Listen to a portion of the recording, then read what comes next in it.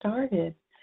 So, of course, I want to welcome everyone. We are so glad to be here and to bring you this third session in the Moving Forward Together Back to School series.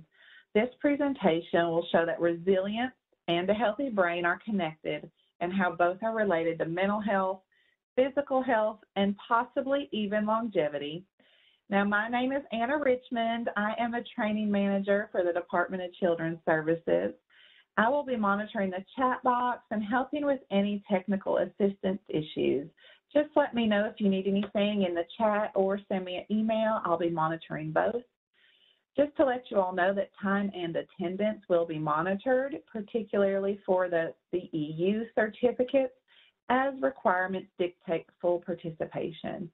So those of you that may need the EU credit, and that's for our NASW social work credit, please let me know in the chat box. We are keeping up with that on a spreadsheet as well, but don't want to miss anyone who needs that, who maybe didn't um, register for that. So let me share just a little bit about our presenter. Wendy Ellmo is a speech language pathologist.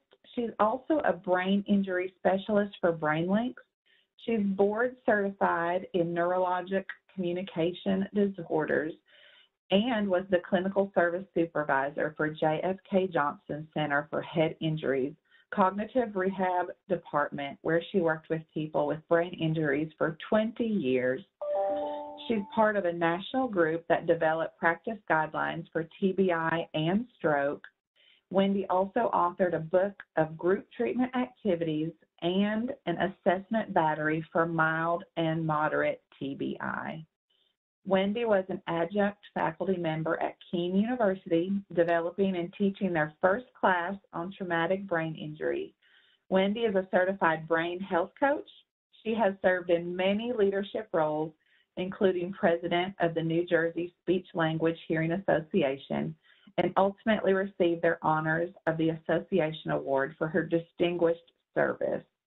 So as you all can hear, Wendy is fantastic. I'm so lucky to have met our friends with BrainLinks a few years ago, and I've worked with Wendy for a while, and I'm so glad to have her on. So Wendy, please take it away.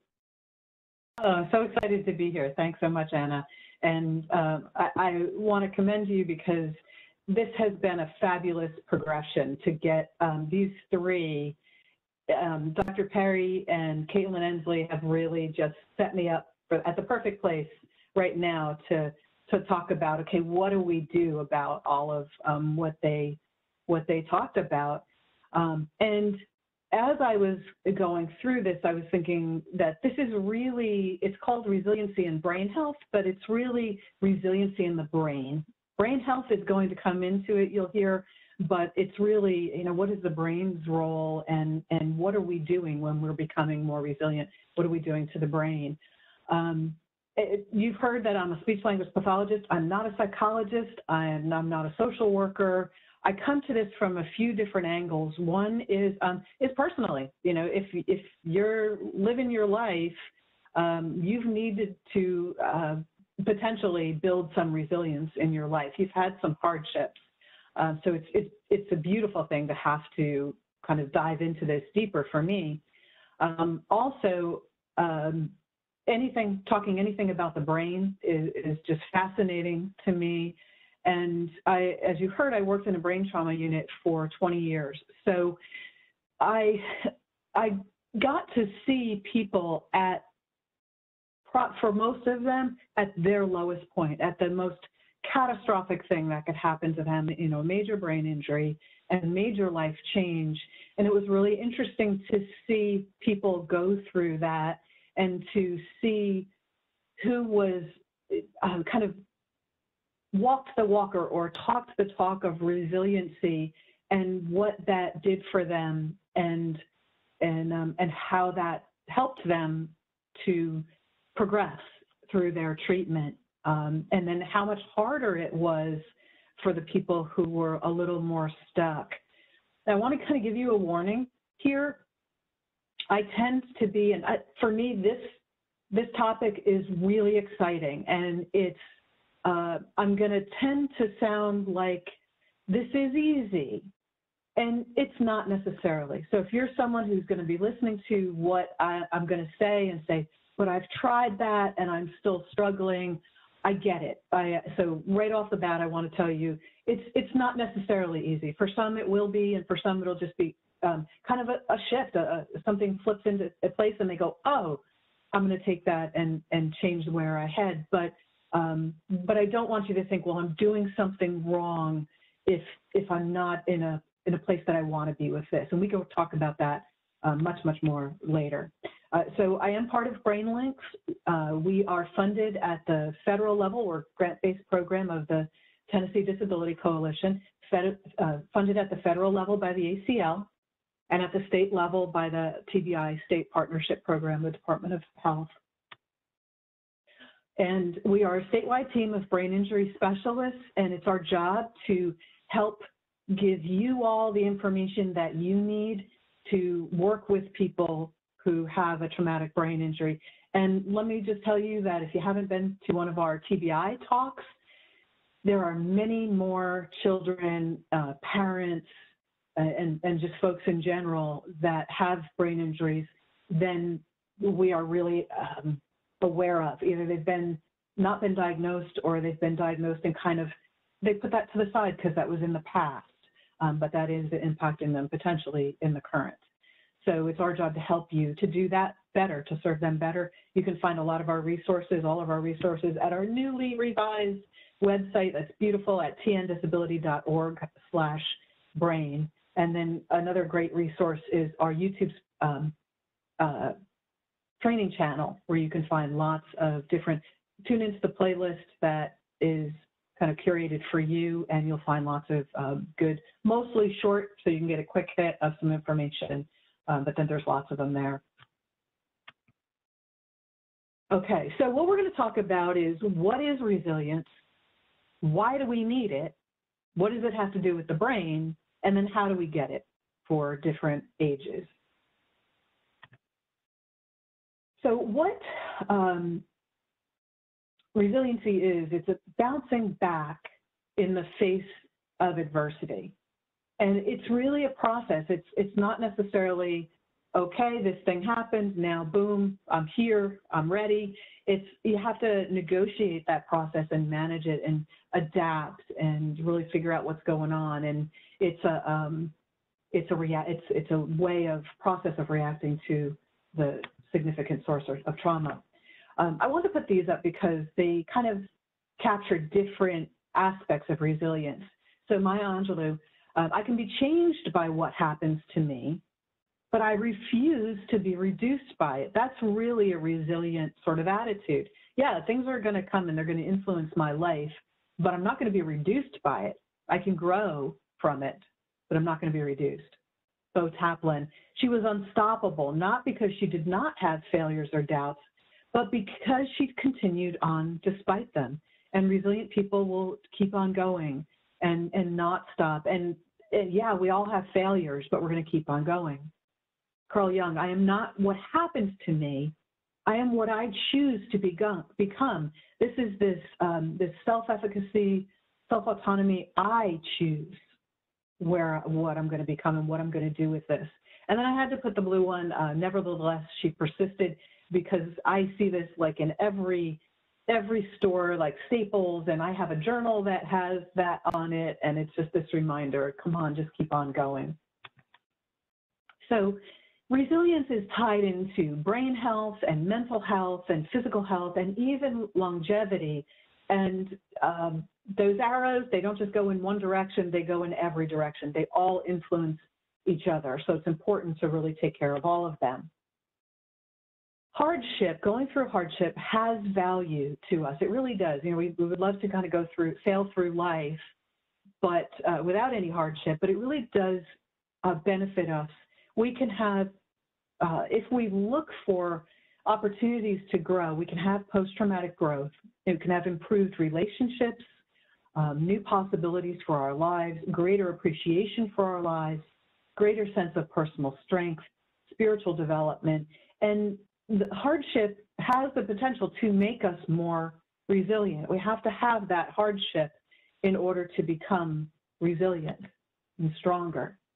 There's a really interesting study in Kauai. They, this is like a seminal study. I mean, it was like just one of the first and one of the, you know, main study where they looked at, they followed everybody that was born in Kauai in this one year.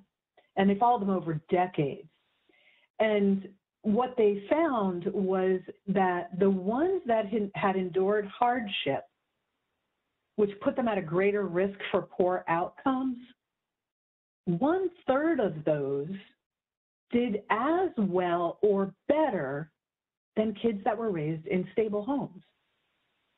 And when they looked at the resilient kids, that one third that, that did well, they found that they were active problem solvers, they made plans, they set goals, and they had this determined mindset that was kind of like, this isn't going to ruin my life.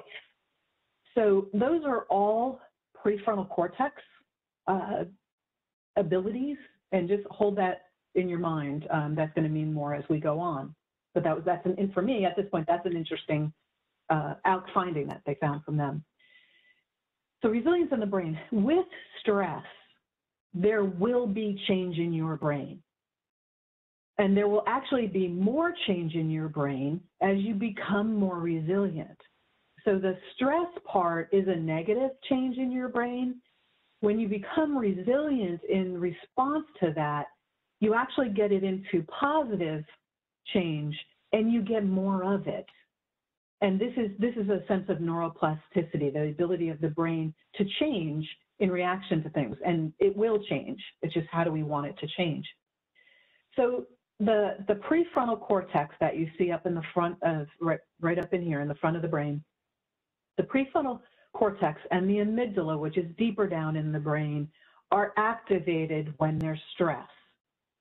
Stay with me on this slide. Um, it's kind of it's kind of fascinating if, if, you, if you follow me on it. So they're both activated. One is this thinking portion, and the other one is this very emotional portion, the amygdala. How quickly, so the messages go back and forth, back and forth during stress, a time of stress. How quickly those messages stop is how quickly you recover from that stress. The greater the resilience we have, the greater connections we have between the amygdala and the prefrontal cortex, and the greater activity in this prefrontal cortex uh, in general. And, and, remember, I just said with the Kauai study, it's it's planning, it's organizing, it's goal setting, all of these great things that are happening up in the front. So you have a stressor, you have this activity back and forth, back and forth. If you've got a strong prefrontal cortex, it can quiet that. Um, and then you can think through your stress.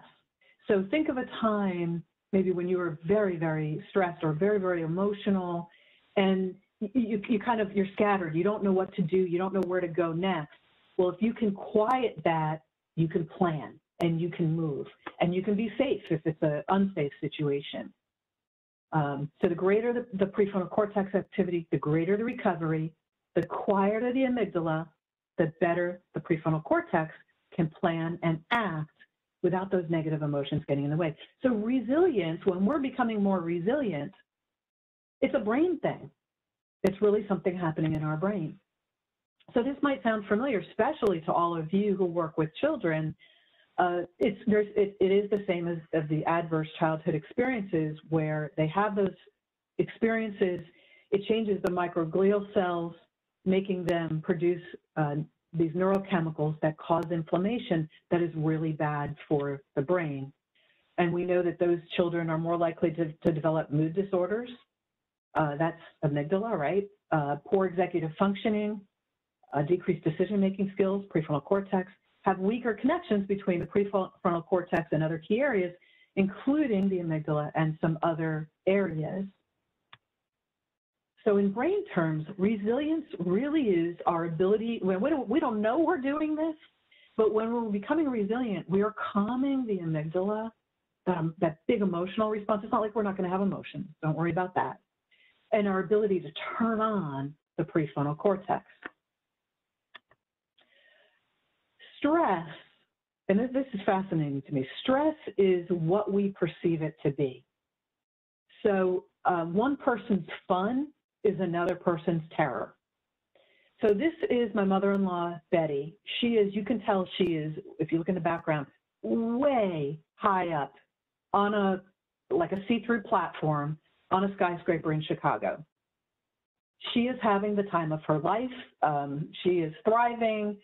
I went on, if you're familiar in Memphis, the, the um, pro bath shop pyramid that they have out there also has a, um, a balcony that is see-through. I went on that. It's not nearly as tall. I'm terrified. I'm not afraid of heights, but I did not like that feeling at all. So for me, that was more stressful. For Betty, it was like, woohoo, this is great. This, this for me is fascinating. Um, high stress and the risk of death. There was a study that looked at 30,000 adults, and they asked them how much stress they had had over the last year and whether they thought it was harmful or not to their health. They look at them eight years later and they find that the high levels of stress increased the risk of dying, but only in the people who thought that stress was harmful. That's incredible.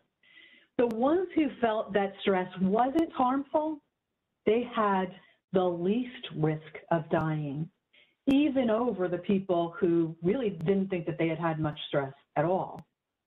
So we really got to think about that and, and think about what, what are the implications for our children?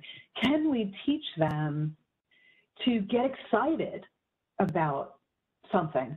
About, so let's say uh, there's a project coming up. Can we kind of teach them that this is going to be fun, this is going to be exciting, um, this is going to be, um, you know, just something that we're going to learn from, and you've got this. Uh, but so that the stress is is perceived as a positive thing and and not as a negative thing because it literally has implications for the length of their life. And then just to continue that, um, there were some studies uh, in, on AIDS and optimism. Those who were optimistic lived longer than those that were realistic, not even pessimistic. The optimistic people lived longer than those that were realistic. And um, you think about it, we'll often, if we see someone who's optimistic, we sometimes think that they're not seeing the whole picture. They haven't really thought about this and the fact that this could kill them. Um, they might not take their treatment seriously, and we want them to be realistic. No, we want them to be optimistic. It is going to uh, to potentially increase their life expectancy. Same thing with cancer and heart patients. Uh, we saw that those that were optimistic did not have a recurrence, had less recurrence of their issues, and they tended to live longer as well. And then we have Betty back again, my mother-in-law. My mother-in-law had cancer, and um, she was incredibly optimistic about it, and we were we were a little bit worried about that because um, we didn't know if she if she really understood what was happening. And she finally said to us, "Listen, I caught this in a routine checkup. I wasn't feeling any symptoms. I wasn't sick, so therefore I'm not sick. I'm going to do everything that I need to do, but I'm not sick." She then had her surgery and we show up in the uh, the hospital room, and she's got neon yellow sunglasses on. She's got a drink in her hand, and she says, "I'm at the beach." She knew full well she was in the hospital room, but she said, "I'm at the beach," and that's where she was in her mind. And then she says to me in that hospital room, I had been a biker chick uh, recently for Halloween, and she said, "Do you still have that nose ring?" And I said, I'll find you a nose ring. Why do you want it? And she said, I want to put it in my belly button because the doctor's going to have to look, lift up my shirt to see my incision, and I want him to see the, the nose ring. That was her approach to the whole thing. She had a year long of uh, go of, of treatment and kept that attitude the whole time. She is um, 100% cancer free, and the whole thing was transformed for everybody not just her, she changed it for us as well. And we get a choice of how we, we want to be. So like I said, stress is is linked to how long we live, longevity. And when they look at the oldest old, which is like 90 and, and 100, the centenarians, they find that they handle stress better than the average person. And they tend to, what they called it in some of these books was they tend to shed stress. It kind of just rolls right off of them. They react less negatively to something to begin with and less hostility. And they accept change as a part of life, even if it seems negative at first. I want to tell you a story. I like to tell stories because sometimes I don't remember the point afterwards, but I remember the story, and the story can help bring back the point for me. So I want to tell you a couple stories, um, like with Betty. Uh, when I first started working, I graduated from my master's program and I wanted to work in this brain trauma facility so badly. And I got the job and I was so thrilled. And shortly thereafter, they wanted to change the team structure. The people who had been there for a long time uh, were, they were they were upset, they were thrown off, uh, they did, they fought this change. And for me, I kind of stepped back and I said, well, listen, I, I, I want to work here. I don't care. I, this was my dream job. I want to be here. I'm not worrying about it. And, and what's the worst that's going to happen? If it doesn't work, they're going to change it. Flash forward 10 years, most of us are still there because it was just this wonderful department. I was there, like you heard, for 20 years.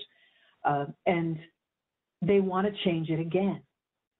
But I remember the reaction that everybody had to the first time, and that, and so now what's happening is they they are reacting. They don't want to change from this this program, the one that they didn't want to change to, and it, it was so remarkable to me to watch that and to realize that we don't like change, and that change can be good or at least fine. You know, nothing doesn't have to be bad and sometimes we just need to wait it out and see where it's going to go. And happening at that point in my life was just such a valuable lesson. So how can we impart that to, to children? So let's look at some ways that we build resilience in, in everybody, and we'll go through some different ages.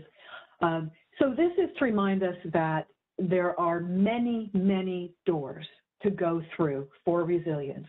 So if you're if you're feeling like I'm not there, I am struggling, I don't know what to do.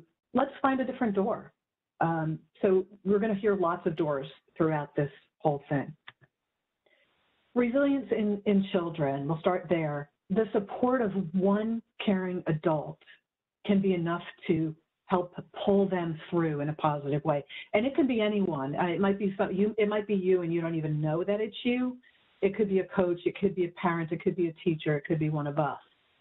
Uh, we just need the one uh, social connections, you'll hear that coming up over and over again, is so important, including and pulling in, like let's say that child doesn't always have um, daily connection with other people. We can say things like, I told grandma, and she's so proud of you.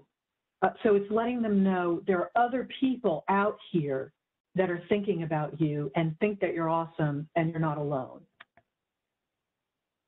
teaching kids to be able to ask for help. So yes, we want some self-sufficiency, we want some independence.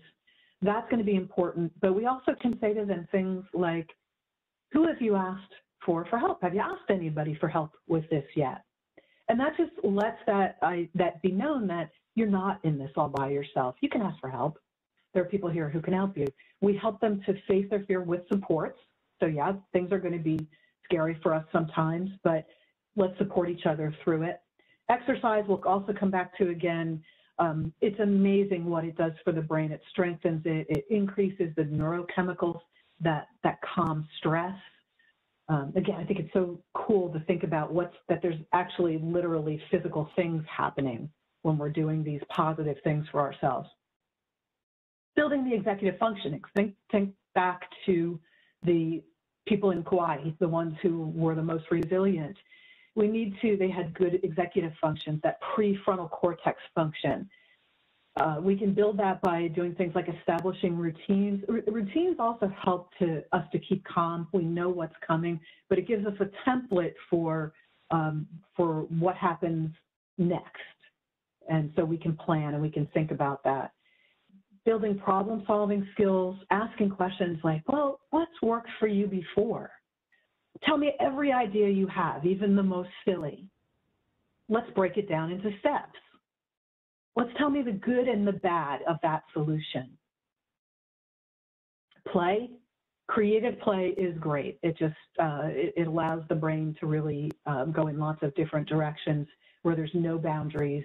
I can come up with anything. Uh, board games are really great as well. They're, they're kind of teaching turn taking and, um, and, and what comes next. And then memory games, obviously for building the memory.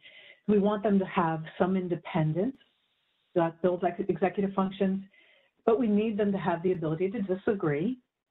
Um, I always gave my kids, uh, I said, listen, you, you, know, you can tell me this is this is what we're going to do. If you disagree with that, you can tell me. It might not change anything, but it might, and often it did. They would think of even when they were young, they would think of something that I didn't think of, or they would think of a plan that worked just as well. And it was important to give them that voice and that that ability to to think and and um, and all of that make some of their own decisions. Uh, meditation is incredible for the brain. Really, it, it, such a great gift to be able to teach children young to be able to meditate because it is something that you can um, you can take with you when you're not meditating. So you can, um, my ability, because I meditated for years, my ability to kind of go into a situation and go, okay, let's calm down is so much better than it was because of this history of meditating. And it's not something that you do once and, and you're there. Um, it takes some time. Uh, it changes the brain. It increases the gray matter volume, which likely helps us uh, to ward off Alzheimer's as we get older. It quiets down that part of the brain that is constantly chattering, that some people call it the monkey mind, that gets in our way and it, it makes us anxious. It increases the hippocampus, which is memory and new learning, and it decreases the amygdala, which is the, the crazy emotion. Um, it doesn't, it's again, it's not going to get rid of emotion. We don't have to worry about that. And then it's effective for depression and chronic pain, anxiety, attention deficit, addiction, and on and on and on. Meditation has just been linked to so many positive outcomes. Uh, lots of different ways to meditate. So if you sit quietly and try to quiet your mind and that doesn't work for you, don't give up on it. Um, and don't think that just because you know my mind won't be quiet, that it's it's not going to be the first time. It's not going to be the 10th time. Uh, it may not have to be also be after years, but it's going to get quieter. And uh, you can do things to occupy your brain, like saying a mantra, saying something over and over again, uh, saying a prayer um, that you have memorized, a guided meditation. You can go on YouTube and find all kinds of guided meditations and progressive relaxations where you are relaxing. Then this is great for kids progressive relaxation where you relax one part of your body and then it increases and eventually is the entire body. And um, I used to, my kids call them um, relaxtions. Uh, I used to do them with them when they were little to help them fall asleep, and they loved it. And it would help. It would help them to fall asleep, and it would. It's it. it you can look it up on YouTube, but it's things like um, breathing in, and the warm air is coming in through your feet, and it's swirling around your feet, and relaxing your feet and going back out. And then with the next breath, next breath, it goes a little higher and on and on. Um, mindfulness is really being in the moment. So when you're eating, you're not watching TV, but you're paying attention to how much you're putting into your mouth, what the fork feels like, what the chewing is like, swallowing every bite. Um, you can also do this with walking going out and walking and feeling each step and the breeze and just being very much mindful of everything that's happening. Uh, again, YouTube is a treasure trove for this kind of thing. You can go on and find um, um, all kinds of meditations for different ages of, children and, and adults. Uh, this is our uh, pufferfish. It looks like he's not going to go, but uh, I love him. He uh, he's not ours. I've adopted him as mine, but he. Um, if you go to headachereliefguide.com and you find him there, there are other ones, but I like him the best. He will go in. You take a deep breath. He goes up, and then he goes down. You breathe in and you breathe out, and the breath influences our nervous system response. It's really hard to be stressed if you are deep breathing. Um, it, it will start to change things.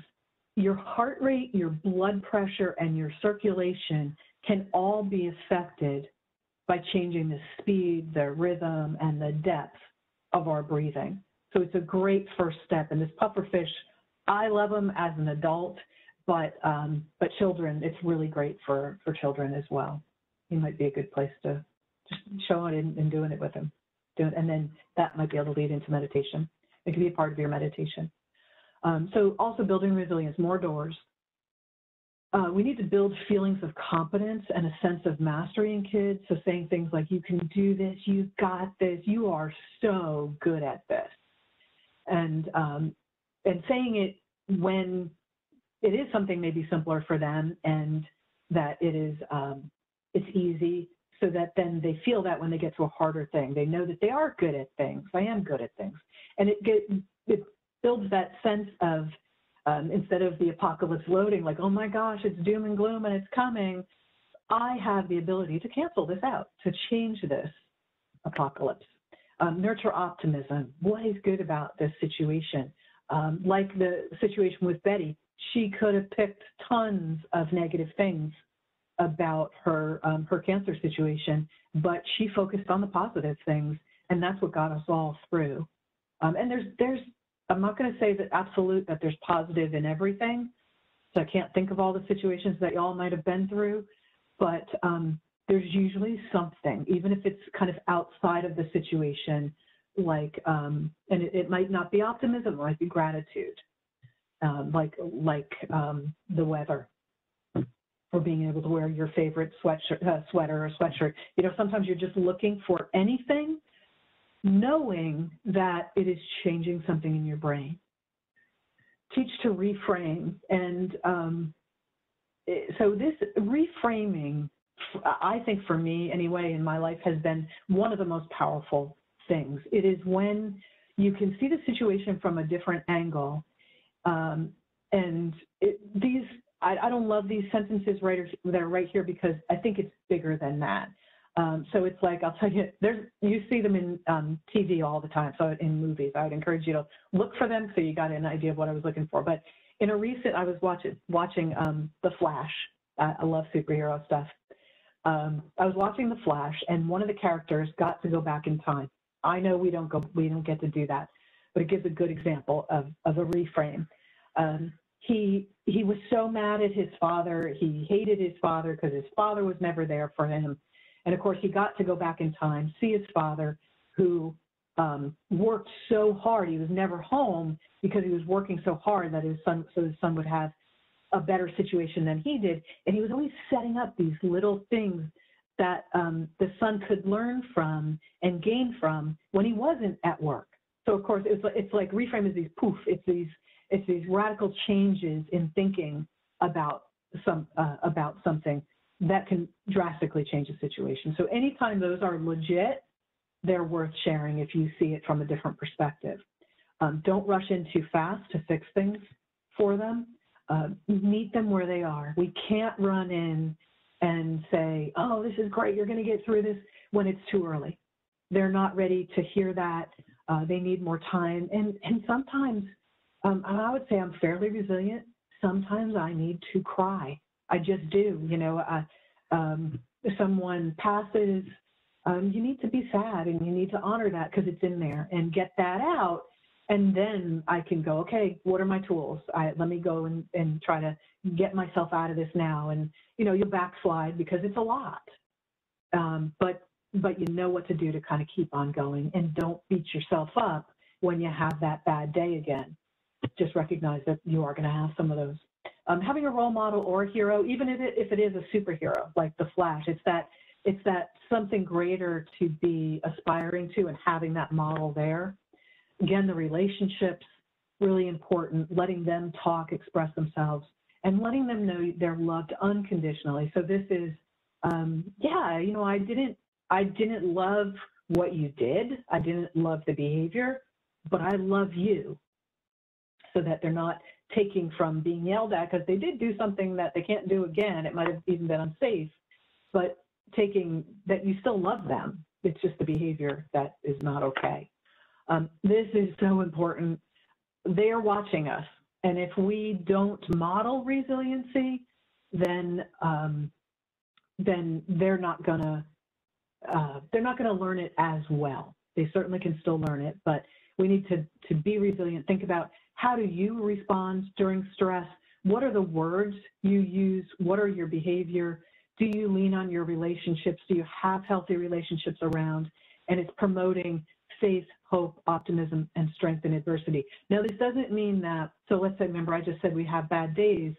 Um, it doesn't mean that we fake it through them. What we say is, you know what, I am really sad today, but um, I, I, called your Aunt Linda and that really helped me. Um, or, you know, I, I know that I'm, I'm sad right now, but I'm not going to be sad forever. It's that idea that we get through this. Uh, here are some of these are, call it the 10 best. I, I, would say there are some really good ones here. So maybe finding your own for each of these things for, for getting humor. Um, so let's say number three, distraction. Let's take a break right now, right? Sometimes we just need to break from it, decrease the stress, maybe go and do our deep breathing. Um, some of those things are really good, uh, but um, let's see, what's another one? Um, taking action to get, okay, all right, all right, so then what are we going to do about this? What can we do? Some other ones, like the humor one, come on, laugh it off. Well, if, there are times that if you told me that, I would probably want to smack you. I probably would. So, uh, like you can't say that at certain times, but but if you've developed kind of a saying that you say um, in the good times, and then they they know where you're coming from, then that can be different. But kind of look for a way to maybe um, introduce humor if it's appropriate. Again, it can always be too soon. Um, let's move on to teens a little bit, and, and they build on each other. Uh, everything pretty much that's good for children is going to work for teens, so we're just adding a few more, and many, many more doors. Um, having a refuge, a quiet place to escape to can be really helpful. Now, we don't want them up in their room all the time by themselves, but having that as an option sometimes is helpful. It, it's not always bad um, having a way to express themselves, music, uh, poetry, singing even to uh, music that is expressing their feeling is a way to get it out, uh, writing, um, and then continue to model. If we feel like at the teenage years that they're not paying any attention to us, they're sometimes even um, maybe disrespecting what we're saying or disregarding, I should say, disregarding what we're saying. Um, but often those things will come back to, uh, so you know that they were listening, but so always model what you want them to hear. And this is, um, this, uh, it's all good in the, it, in the end. If it's not good, it's not the end. Um, this was on a greeting card that I hung up, and it looked just like that. It was square and this black and white, and I hung it on the uh, the mirror when my kids were were pretty young because I knew that there were going to be times in their lives, because I had had them, where they were going to go through some stuff that I wasn't even going to know about. I wasn't even going to know that it happened. And I wanted them to know, I think the hardest thing with kids is that they they haven't necessarily been through something and gotten to the other side so they don't know that you get to the other side this too will end and i wanted them to know that and we we never I mean every once in a while we talk about it, but it wasn't it wasn't a thing. It was just there, always there. We moved uh, several times. They moved it. They moved it and put it back in their bathroom. Um, my daughter went through a, a very difficult experience when she was in her teenage years. After that, she said to me, "I just kept on thinking, okay, it's not good right now." So if it's not good, it's not the end. And I was just so thankful that I had put that there because it was getting her through, even though I didn't know it. Um, that sense of mastery that we talked about before, that I can control this.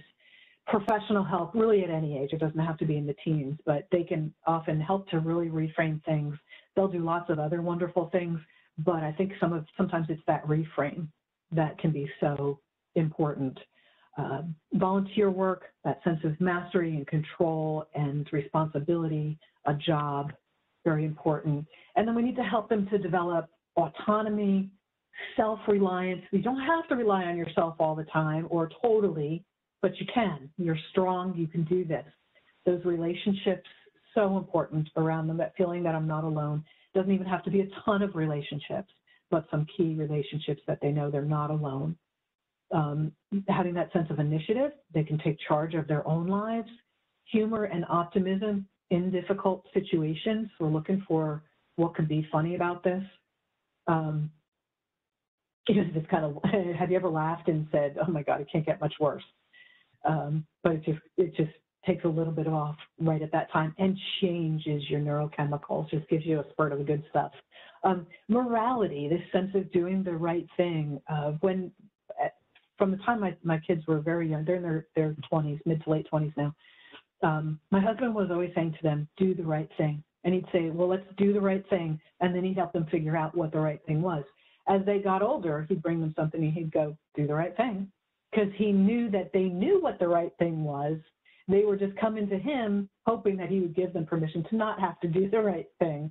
Um, so he'd help when he needed to, and then when he didn't, he would just leave it as do the right thing. And to this day, they are grounded in that concept. And I, am making it sound like my kids are perfect. They're not. They're not. But um, but they are good kids, um, and they have um, a sense of, of resilience and bouncing back. Um, helping children to have an awareness of their stressors. What well, it seems that when you have a test coming up, that's very stressful for you. What can we do to make that better? And then also, I would add to that, what does stress feel like to them? How do I know when I'm stressed so that I know to do something about it? Um, having a passion in life, but it doesn't have to be a passion for life. What I was passionate about as a, as a, a child, say in elementary years, is not what I was passionate about as a teenager which was not what I'm passionate about now. But it's trying to help them to have a passion for something that is really incredible, helpful, and can be that, that refuge for them. Um, more doors. Self-care, really important to take care of yourself. Um, relaxation, trying new things, broadening that, what I'm good at, what I'm capable of. Set reasonable goals not putting your expectations too high, uh, taking breaks, consistent routine, and then accepting change. We've talked about these.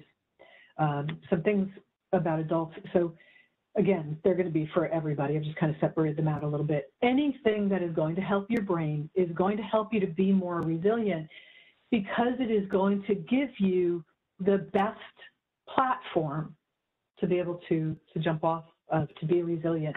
If you are, um, if you're not feeling your body well, uh, if you're exhausted, then you're not going to be very resilient. Think about how easy it is to kind of just break down and say, I quit, this is it, when you're exhausted. Uh, we're trying to give the good platform.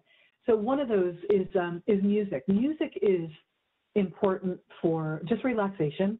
Make sure you're playing the right music to get you relaxed, unless you want to be energized in a positive way. I also know there are songs I can put on that will take me to a deep, dark place. Um, so knowing when it's okay to, to listen to those, because they that sometimes that's still good, important, but um, but also knowing when to not play those songs, because knowing they're going to take you to a place that's going to be harder for you to get out of. Um, it can help you to recover from situations. So you put on that playlist that you know is is going to be what you need right now, and then it is also good for the for your brain because music lights up um, parts of your brain. And there's a lot of studies now that, that look at music and Alzheimer's disease. And what it, they, they're playing music and they call it like the playlist of your life So getting songs that would have been meaningful to them in their, typically going back into teenage years, and whatever you know is, is um, would have been stimulating to them. And they'll just watch the brain light up when they're just listening to it. And then they'll also see that sometimes they'll start either they'll start moving in their chair or they'll start they'll stand up and start dancing if they're physically capable. And sometimes they'll sing when somebody you might have somebody who who was not able to sing to speak and they're singing with it and sometimes it'll even carry over into the ability to have a conversation um, afterwards after the music is off. So just listening lights up some parts of your brain. Listening and singing uh, lights up more parts of your brain. Listening singing and dancing lights up even more so so good and so i think okay if we can see this change in people who have a, a significant disease process going, what can happen if we are using this throughout our life? If we're bringing in um, music and, and doing different things with it. Uh, healthy food. So a whole food plant-based diet is the best diet for, and I, I have there formerly known as vegan. A lot of people think of it as uh, it's it's the healthier of a vegan diet. Vegan, a lot of things are vegan which means no uh, dairy or meat, but they're not necessarily still good for you. I always use the example of you know potato chips and and um, and French fries, depending on what they're fried in, are vegan. That they're not good for you. They're not part of a whole food plant-based diet. Um, other people will say that uh, that whole food plant-based also means you can have some meat, but you're not going to make it a big part of your diet uh, you, you're going to make fruits, vegetables, whole grains, and then legumes, peas, beans, lentils, as the main part of your diet. Um, I'll tell you that I was a vegetarian many years ago for many years, and uh, and now I would call myself a whole food plant based, and I will have occasional meal, meat because I I just I don't want to be in a place um, where I feel like I can't and, and usually I'll choose not because I can. Um, so for me, it's just a mind game I play with myself. The healthy food supports uh, your brain and behavior. So it, it gives the brain the best, um, the best diet to decrease inflammation.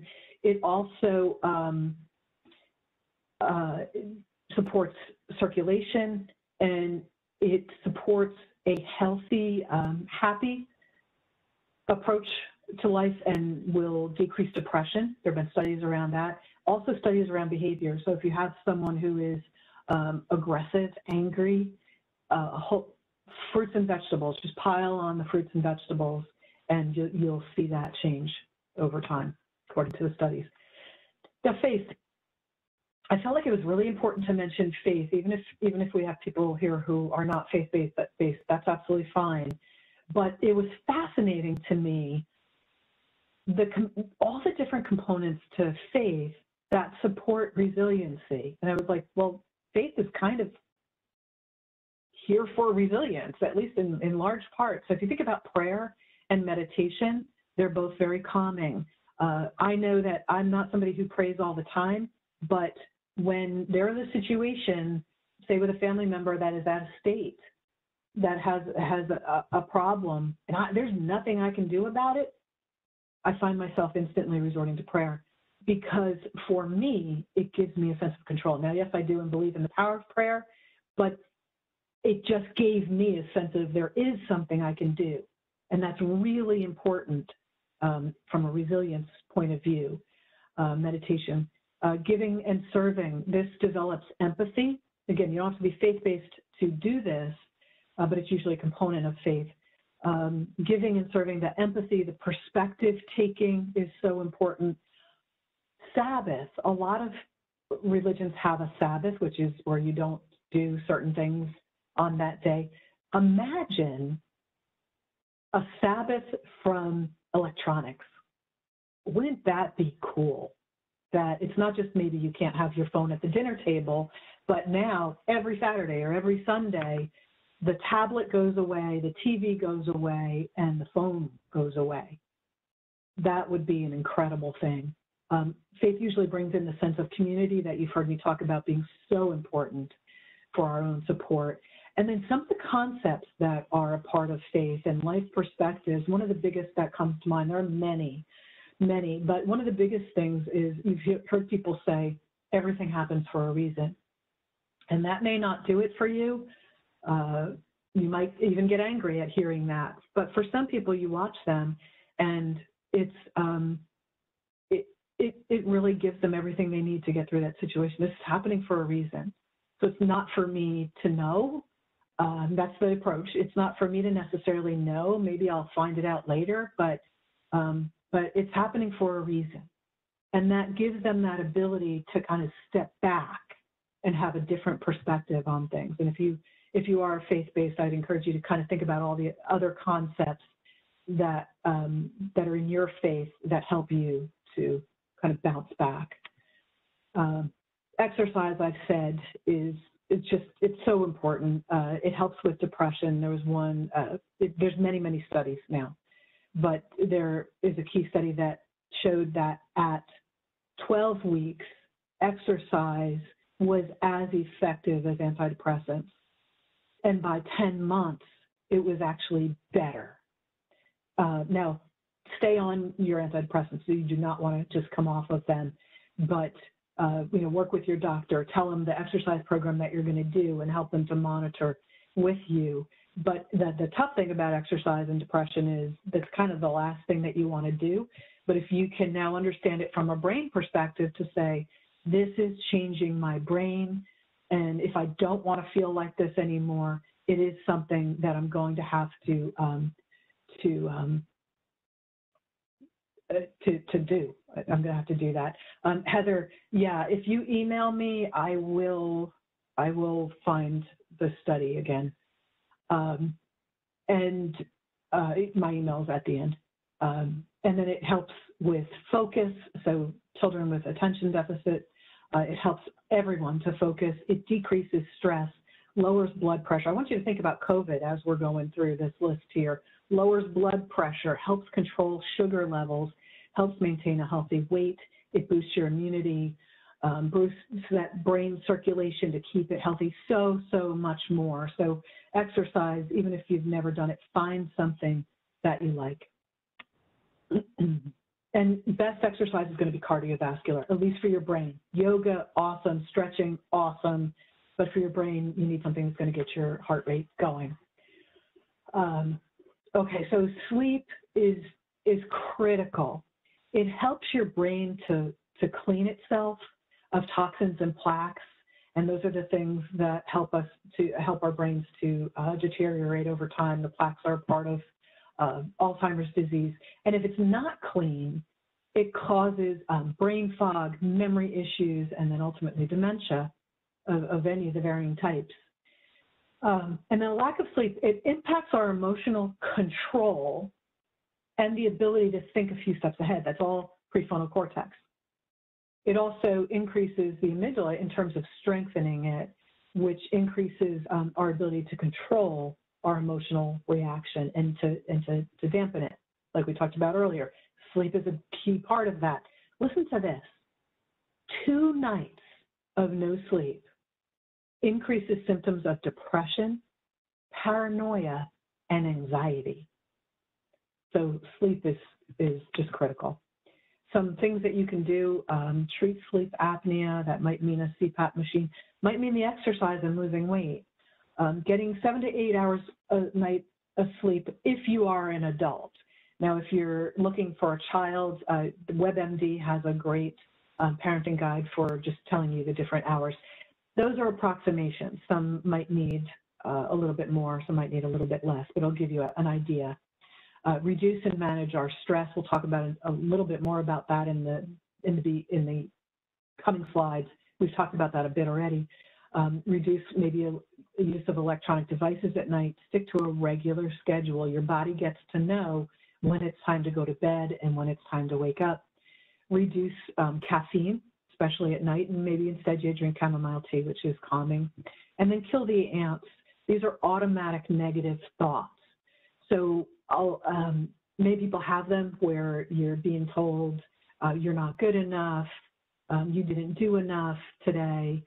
Uh, we got to kill them. We got to um, go in and kind of start to flip them around. Um, we can talk much, much more about that. But figure out what keeps you up at night and fix that. Um, positive self-talk is so important. Again, I just talked about the negative chatter. We talked about the negative chatter with, or we talked about chatter with meditation. The brain releases similar chemicals during negative self-talk as it does during depression. So it stands to reason that we can literally talk ourselves into depression. If you're hearing this negativity all the time, whether it's external or even internal, it's producing these negative chemicals that um, that can potentially lead to depression. Your thoughts have biochemical counterparts. Again, it's it's ha stuff happening in the brain. Your thoughts are things. You've probably heard that before. They're collections of neurotransmitters and nerve cell connections that can be triggered by electrical stimulation of the brain. They're things. So we got to get the positive self-talk. And this, so let's say you're like, okay, I'm a negative self-talker. First thing, we got to know that. Second thing, we got to start to identify when you're hearing those negative things. And then third, you you cancel it out. So if you just said a negative thing, is that really true? It's not. Um, it's this is what's really true. And then next, we start to replace and and we start to hear the positive. That is an effort, and it is one well worth taking and, and embarking on right now but it is it is well worth it. And you, you can probably enlist some of the people in your life because they probably, um, if you're a negative inside, you're probably responding with um, with oh my gosh, and this is this is going to be bad type of things, and they can help you externally to catch them uh, if if it's a, a someone that you trust. Okay, this is so simple but it's it's really incredible. So stay stay with me here. It is what it is. So something happens. It is what it is. It's kind of like that idea of something happened for a reason. That they look at it as okay, well, it just is. It's it, I don't know if this is good or bad. Um, it just is what it is. It allows us to step back from the emotion of it. It doesn't have to be bad. It just is. Okay, I have this cancer. I don't like that at all, but it is what it is. I don't have to go into, just like Betty, I don't have to go into the negativity of it. I can go into, this is what I've got right now, this is what's on my plate, and here's how I'm going to approach it. There, it reminds me of that story that you might have heard, and I'll way paraphrase this, of the, the old farmer who had a horse and he had a son, and he had, the horse gets out one day and he runs into the hills and the um, the townspeople say, "Oh, this is terrible. This is terrible," and he says, "Well, maybe." The um, next day, his son, the, uh, the next day, the horses, the, his horse comes back with a bunch of wild horses, and, and now they're they're they're his. And the townspeople say, "This is wonderful," and he says, "Well, maybe." The next day, the son starts to tame the wild horses and is thrown off and breaks his leg. And they say, This is terrible. And he says, Well, maybe. And the next day, um, the military comes into the town and is taking away everybody of all the males of fighting age. They can't take his son. And they say, This is great. And he says, Well, maybe. So you get the point of sometimes if we just wait something out, we realize it wasn't what we thought. It wasn't maybe as good as we thought, but it wasn't as bad as we thought. So it's just this idea of it is what it is, and let's kind of hold back some of that emotional turmoil and that judgment to just deal with with what it is. And again, that's going to allow our prefrontal cortex to kick in and actually solve this with us and for us. And just one more thing, because this is probably my favorite thing on stress. Um, if you have some fear, if you're a worrier, if you have some fear of pain or suffering, examine if there's anything that you can do about it. If there's something that you can do about it, do it. And don't worry. Right? You've got control now. Don't don't worry, just do it. If there's nothing you can do, then there's no need to worry, right? So bottom line is from the Dalai Lama, there's never a time to worry. Either, either take what control you have and use it, or you don't have any and you wait and see. And think about how often that bad thing that you waited for never came. So it was this worry for nothing. And all that now, think about all of the brain chemicals, all the negativity that you were sending to your brain when you didn't need to. Uh, so I, I would be remiss being working for a brain injury organization if I did not speak a little bit about traumatic brain injury. Um, and I think a lot of this also will relate to uh, some of the, the folks that you're working with. Um, resilience in people with traumatic brain injury does seem to be similar to people without a brain injury. That was, um, on the one hand, that was remarkable to me. And on the other hand, I kind of thought back to what I knew in working with people. And I saw many people with brain injuries who were uh, very resilient. And it just came in with such a positive attitude and watching the outcome that that had for them. Um, the severity, uh, the intelligence before the injury, and cognitive flexibility didn't predict resilience. Uh, so you would kind of think that you could say, okay, that's a severe injury that's going to make it harder. Not necessarily. Um, and then some things that did in fact um, influence it, though, uh, if you were of a minority status, it was harder to be resilient. Um, substance abuse before the injury, higher anxiety, a higher disability status, um, all made it harder to be resilient. Resilient. Um, and what I think, where here's where I think it also relates to folks that that you might be working with if you work in this field, is uh, not just traumatic brain injury, but in the children that you're working with and the families that you're working with. And think about the parents and consider also that the parents could have had a TBI. That could be why we're now looking at the situation that we are with the child. Um, but we need to potentially look at what their resilience level is, and there are different ways to uh, also kind of measure it.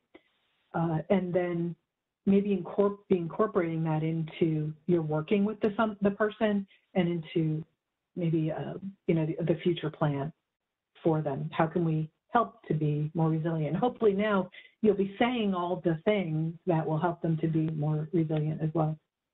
Uh, we have a document that goes more into brain health. Uh, you can find it on our website at tndisability.org slash brain, and it'll go into more depth in some of the things that we talked about and some additional ones that specifically are related to how do you be healthy, how do you have a healthy brain. Uh, and then there are more tools. Most of them are going to be more related to uh, to traumatic brain injury and recovery from that. There are some really great tools. And again, I want you to, to consider that um, you are, we know from the data, you are working with more people than you are aware who have had traumatic brain injury, and that is both the children, the teens, and the parents that you're working with. Uh, so have that in the back of your mind. And you can also go to, we have done a series for DCS on traumatic brain injury, and you can go through that and um, and you can go and listen to those earlier ones if you want to learn more about traumatic brain injury. Um, just a couple more slides here. Um, if you would please um, take our one minute survey, you can e either read that QR code and, and go and do it. It's really quick and it helps us with our grant efforts. Um, or you can go to, um, I'm sure somebody here is going to put that link into the chat box uh, I know Anna has it and Jennifer has it. Um, and there it is, just like magic. It was also the very first thing in the in the chat. So if you wouldn't mind doing that, I would really appreciate it. You can just put um, Wendy in there, and resilience is good enough. And August 17th is all the information that you're going to need to know there. And um, we thank you from BrainLinks so much. And any questions? And I'm going to leave this up while we take any questions that you might have. And, and keep in mind also, if, if, if questions occur to you, come back next week because you're going to have the opportunity to ask questions of everybody um, that has presented here, all three of us. And then some more experts. Um, so Anna, you might even want to give them a little bit more information on that, but um, I'm happy to take any questions that you might have.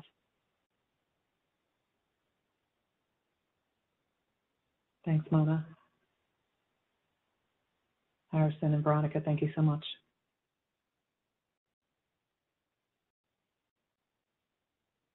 No questions? Saving them for next week, Wendy. Okay. Uh, oh, we do have a Okay, question. here we go. If someone is on an anxiety medication or similar, does this affect the brain's ability to manage or adapt to stress, et cetera? Does the medicine change the neuroplasticity of the brain? Um, ability to manage or adapt to stress, et cetera. Um, so it is, it, depending on what the medication is, it is having an impact on some part of the brain. And it can be, um, so it can be extremely helpful. So if you are, uh, there are times when medications are, are absolutely could be a part of the solution. So you want to, you want to listen to your physician for sure. And maybe now you bring in some other information and you say, are we at a point where we could consider something, um, something else? Could I, uh, they're committed to to doing some exercise or to doing meditation, can you work with us to come off of this medication or um, monitor them through this? Uh, but but it's it's so yes, there, because there is something physically happening in the brain, something is lit up depending on whether it's anxiety or depression or a bipolar or anything. It's, those are different parts of the brain. You can also have um, depression can be caused by different parts of the brain being lit up. So the medication is important, which is why you'll often see there there's a switching of medications because one's not working. It's because it wasn't targeting the right part of the brain. So you always want to keep that in mind that maybe there's a different medication that would do it um, differently. Um, but stay on it if you're on it and work with your doctor to and, and start incorporating some of these things certainly there are people who come off of their, their medications, but um, you want to do it in a safe way. Um, hopefully that answered your question, but definitely start incorporating some of these things. Um, what is the relationship, and if I didn't answer that fully, you can type in, what is the relationship between perspective and gratitude with resiliency? How can we best help someone to gain a broader, broader perspective of their situation, express gratitude for where they are, and build resiliency from that? Um, great question. Um, gratitude is so linked with resiliency because it's um, it is putting those gratitude is, is, pumping those positive chemicals in. It is quieting the amygdala. It is um, it's it's just doing great things in the brain. So we want to foster a an attitude of gratitude, and that can happen in a lot of different ways you might, um, so yes, we want it to be an ongoing thing where I find gratitude in everything, but we also want to make it something maybe more specifically where every day, so if we have someone who really needs to be kind of switching this, every day you write down two things that you're grateful for. Uh, I like to do it at the end of the day because I then I look back on that day and some people like to do it at the beginning of the day. Now I don't know what has happened, but there's still something to be grateful for at the start. So by all means, you do it. Um, you can do it both, and it it means also um, just doing it in every situation, being that good model. So I, I often use the example of even when there's someone who is in the hospital room and it's the first day and they're in the hospital bed and, and you don't know how things are going to go. Um, for me, I can look out the window and be grateful for the weather because I love rain and I love the, the, the sun. Um, but there's always something to be grateful for. Um, and it's finding that, grateful that they're still alive.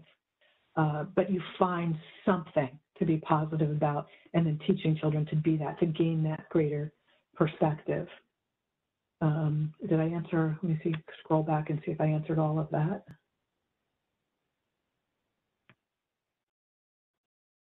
Yeah, and then that will help you to build resiliency because you're you're building your building up your brain. So like I said earlier, um, sometimes I might make it sound easy. I know it's not, believe me. Um, it takes work sometimes.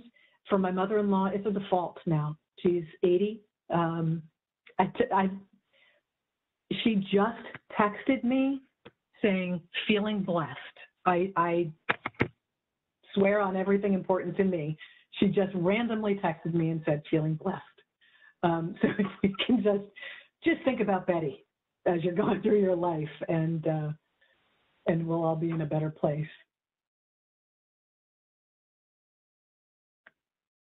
Well, thank Any you, other Wendy. Oh, we've just got another comment, Wendy. You may want to look at that. Um, I sustained a brain injury a year ago when I first started this position. Since the injury isn't noticeable like a broken bone, people tend to forget or not realize that you're still healing. Absolutely. And um, please, if you want to reach out to any of us, um, we can, if you're, if you're still having any issues, we can help you out with that. But we absolutely get that. It's called the silent epidemic for that reason, that people don't realize. What I would um, suggest to you is that um, you take all of this today to heart, that you focus on all of the positive, and you may already be doing this, but you focus on the positive. I've, we've all watched people who get caught in what they've lost. And, and again, if you now put that in the perspective of what we've talked about here today, we want to be focusing on what we have, um, what we, um, uh, what is still good, what the supports are, those kind of things. Focus on anything that's positive so you get the positive stuff um, rolling in your brain.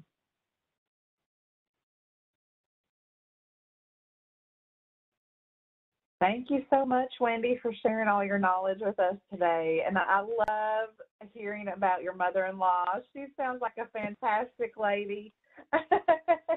She is. so thanks again for sharing those personal stories as well. And thank you to all of our participants today. Uh, we hope you've enjoyed today's session, and we hope you've been able to participate in the sessions before this in the series.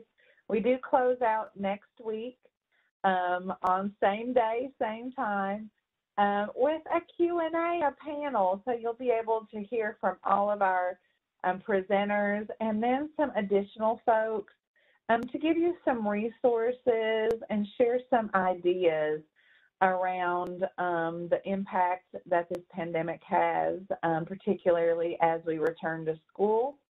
Um, so thank you all again. If you need anything from me or have any follow-up, just let me know either um, by email or you can also give me a phone call.